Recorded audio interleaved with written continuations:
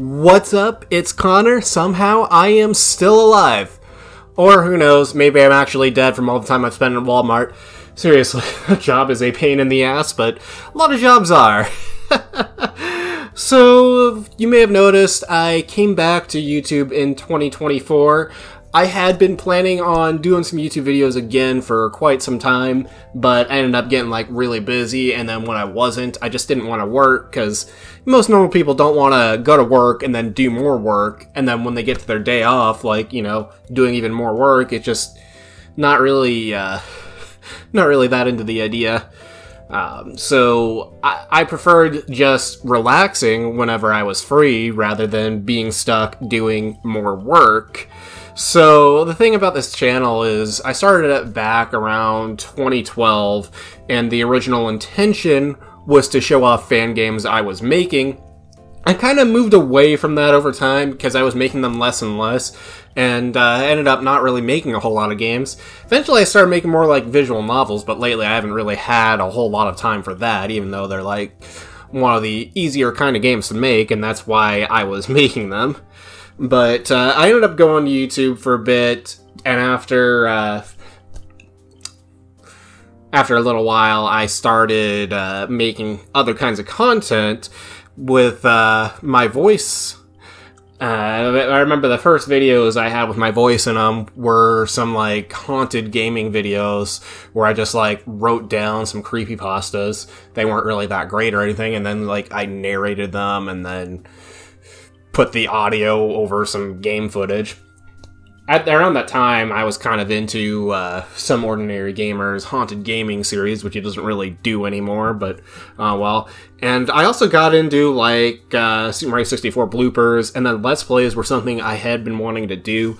I had discussed it with like a real life friend beforehand, but he said it was hard to imagine someone like me who doesn't really talk a whole lot do something like that. Um, being in front of like a microphone made it much easier, but it was hard to stay consistent with let's plays and stuff because like I did a little bit in 2013, did my Herb Sims in the City let's play in 2014, and I haven't really done a whole lot of let's play type stuff since then. I have tried to come back to it, but it didn't really work out. Like I've thought about like starting a channel with like my brother where we just play different games together. Uh, I'd probably need like a capture card for the games we'd want to play. but uh, I think we could probably come up with some interesting stuff. But we'd have to like set we'd have to set aside some time in our lives to actually like focus on that kind of stuff. And you know, we both have stuff that we want to do in our personal lives, so uh, we we don't really have the time to make that kind of commitment. And uh, Super Mario 64 bloopers were something else I watched around that time. I got really into SMG4. I think his golden years were 2012 2014. Kind of quit watching him for a while around 2018 or so, but after getting a job a couple years ago, I kind of started watching his stuff again. I still think his older stuff's better, but like I don't really think his newer stuff's that bad. If you don't like it, that's fine. Like, you know, it's not for everybody.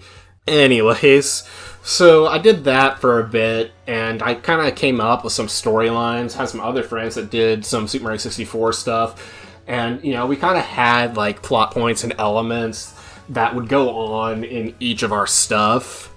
But uh, none of us actually finished anything. Like uh, myself and Captain Stabula, we finished what we considered the first season of our Super Mario 64 bloopers. Kind of stopped somewhere in the second.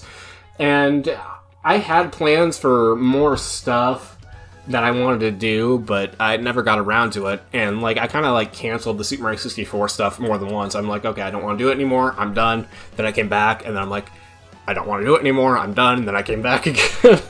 and it's kind of up in the air whether or not I'll actually finish that stuff. Eventually, I ended up doing game reviews, which was something I wanted to do since like 2013 when I got into Peanut Butter Gamer and JonTron, and everybody from Normal Boots well, okay, maybe not everybody, but like, I kind of wanted to make that kind of YouTube content. Made a little intro that I wanted to use, but I never ended up using. It took me a couple of years to actually start making that kind of video, and it was watching Balrog that actually got me interested in getting started for real. So I got around to actually doing it. And I actually had some videos around 2015 to 16 that got a decent amount of views, which was pretty surprising for me. Especially after I got into like uh, covering Ace Attorney news. I, I wasn't really intending to report on anything Ace Attorney related, but uh, I made a video about Ace Attorney 6, and then a few months later, I'm just like, let's just do a news roundup, and then, like, and then I just kept making stuff whenever new news came out about Ace Attorney 6, which became known as Spirit of Justice in the West. And I eventually did news related to Dai Gyakuten Saiban, Dai Gyakuten Saiban 2, or The Great Ace Attorney, until there was, like, nothing left to cover. And, like, yeah, I even, I even went over some stuff, uh, from after the 3DS era, like the rumors about compilations for Ace Attorney. We, we eventually got them all. And, you know, at one point I even did a video about the lack of Ace Attorney news because we weren't hearing anything. but it was around when the Great Ace Attorney finally got localized that I stopped actually making the news videos. But this kind of video, like, you know, I kind of like this kind of video, so I kept at it for a while. I was somewhat consistent, but I was forced to take breaks for various reasons. I remember in 2014, like, I would do like three videos a week for the summer. For, and they were all like different types of videos, different styles, about what you'd expect from a kid on YouTube. But uh, 2017, it was more my more modern stuff where I was like talking over footage, doing like game reviews and whatever. And I tried to do the three videos a week thing again, um, but uh, some family members were being toxic around that time, so I had to take a break. And I, I actually got like real, real depressed. So I wasn't really making anything new for a while, and then I then I returned and then over the next few years, I kept making videos. Different things about my style would end up changing. And around 2019 was when Scott the Woz really started influencing my stuff. So if you've watched my 2019 to 2020 reviews and stuff, you'll definitely notice if you've watched Scott the Woz before.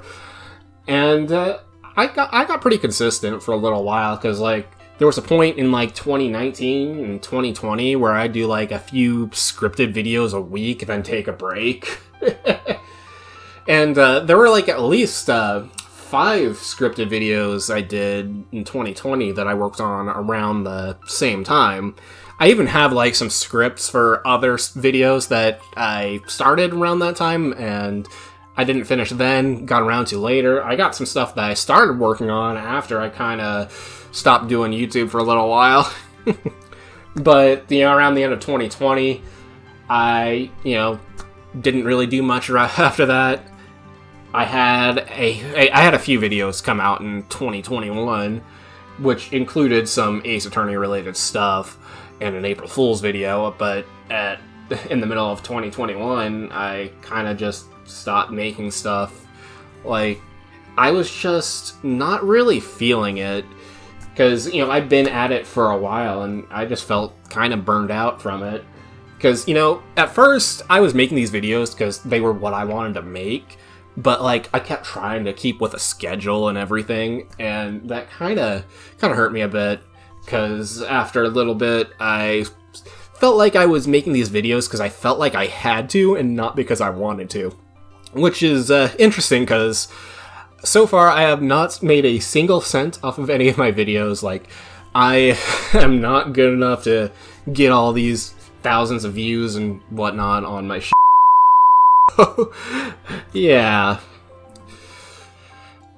I ended up just not doing YouTube and trying to focus on my personal life. And, you know, I was trying to get a job, like a real job, because, you know, I had struggled with that and nobody wanted to hear anything from me. Like, so uh, I tried to take it a bit more seriously. And honestly, I didn't have the greatest luck most of the time I heard anything back, like you know, I might I might have gotten an interview or something, but I usually didn't hear anything back from any of the places I applied to. And you know, all I could really do was just hang out at home, play video games until somebody actually wanted me. Because none of the applications I was filling out were really doing anything. It, it really didn't help that uh, my family was being pretty toxic around that time. I actually ended up uh, hiding in my room a lot at the end of the night because, like, I usually just went to this one room that we had a big TV in. Didn't have a TV in my room because one of my cats knocked it over.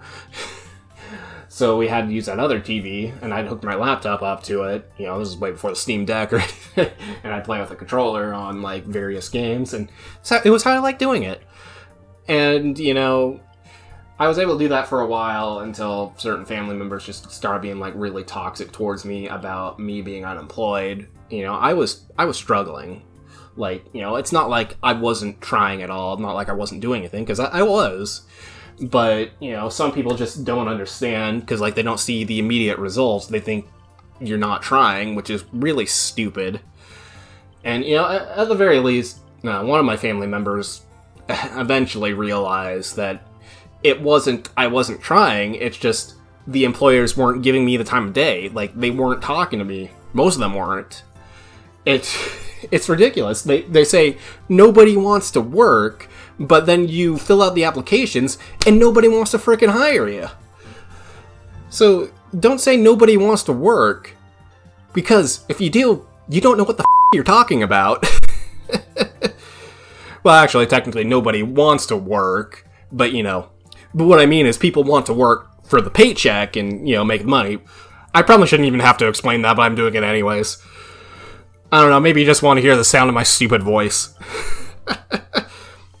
but yeah, it just wasn't working out. I remember summer 2021, I managed to get a part time job, which uh, I got through my sisters. If it weren't for them, I probably wouldn't have gotten it. And basically, I just went and loaded ice cream trucks for a couple of hours. It was nice having not having to deal with like uh, the idiots I deal with in retail nearly every day. But uh, you know, it, I wasn't there for much time. I didn't get paid a whole lot, but it was nice. Eventually, uh, he kind of. Eventually, the boss just had me. eventually, the boss stopped having me come in, so I had to go look for another job, and you know, I was having a lot of trouble with that because still nobody wanted to hire me. Like one of the jobs I applied to near the beginning of that year was Lowe's.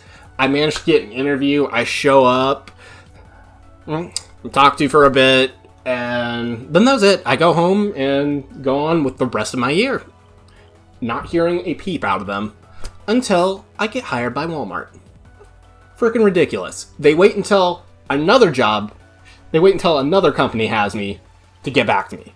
So stupid. Around that time, when I applied to Walmart, I tried uh, working at a, like a taco restaurant, and that only went through. That only went for a day. They never figured. They never figured out my schedule or anything. So I, I just, I just said screw it you know, Walmart had called me around that time, so I'm just like, I, am just gonna call Walmart back and see if they'll still let me come in. And that's how I became a slave for Walmart. but yeah, I just didn't want to make a whole lot of videos while I was stuck doing my Walmart job.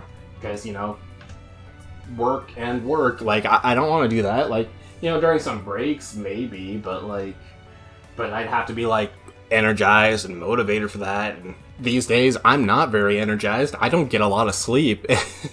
Coming back to YouTube uh, this year kind of hasn't helped because uh, it's made me lose a bit of sleep.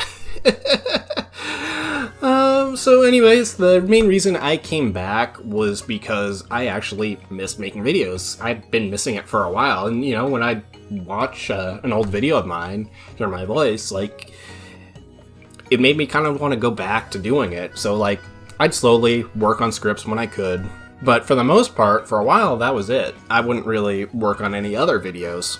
And eventually, I realized if I was going to come back anytime soon, I was just gonna have to make the content that was easier to make, which would be my low effort, mostly unscripted content. And, you know, I can make decent stuff without a script, but uh, kinds of videos I want to make, uh, which is the scripted stuff, those can be kind of a pain because like writing the scripts that part's fine but like when it comes to like recording it i do fail a lot and i always dread editing the audio that part's always a pain. I even changed how I edited the audio for my unscripted videos this year, where I'd like edit the audio first, and then I would drag it into the uh, the program I'm using now. Because like before 2020 was over, I was actually using Adobe Premiere because like when I, when I first got into this, like I, I used like Windows Movie Maker, and then I used a combination of Windows Movie Maker and Adobe Premiere 2.0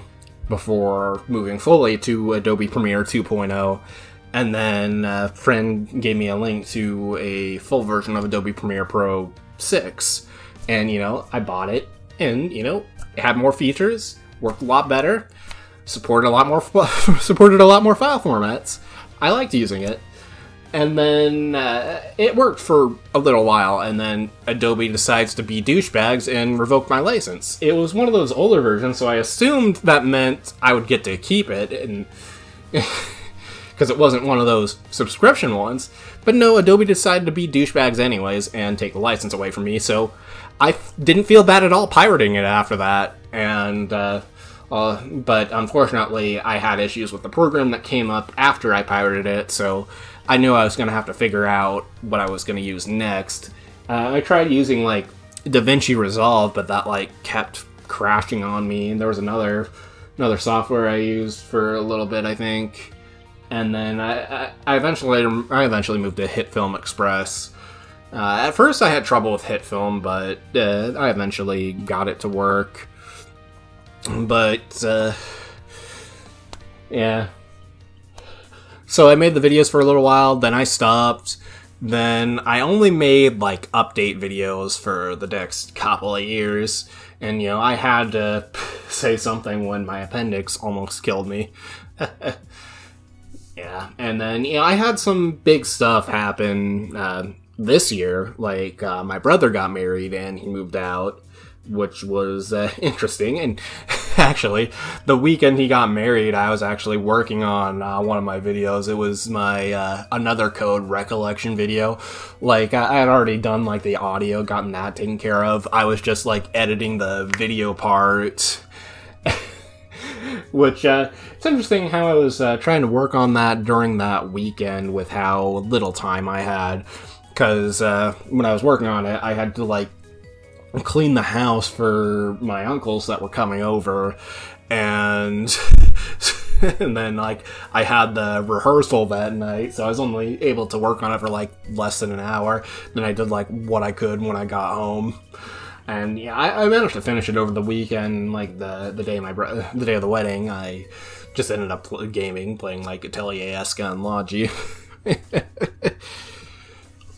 But yeah, I, I came back, started making a lot of unscripted videos because I just wanted to make videos again. And I just did stuff that I thought I could make. And I even did something a little new that really fit my style, which was my top 10 facts videos, where I start out with some true facts, and then I move to some more obvious ones before completely making things up. And honestly, though, when I was uh, working on some of them, I just thought some of these facts, I'm not sure how accurate they are. And then I'm like, you know, I'm eventually just going to say facts that are just completely made up. So is it gonna matter if some of them aren't entirely accurate when the videos are made for entertainment purposes? and, and, and see what people think to uh, about the made up facts. but yeah, so that's. Uh, I, I think I've gone on for. I've gone on for quite a while, but yeah, I, I pretty much made it clear why I came back. And, you know, I managed to stay pretty consistent uploading these videos pretty much every week from the summer up through bit into the fall. But once again, I'm getting tired of making videos. I want to take a break. And honestly, though, when it came to those videos, I actually prepared a lot of them ahead of time, so I had like a backlog of several weeks, and then like every weekend I'd work on like one or two videos for a while just to keep the backlog going. but, you know, I just started to get tired of trying to keep the backlog up, so I decided to just slow down and let the videos just keep going up until there isn't any left.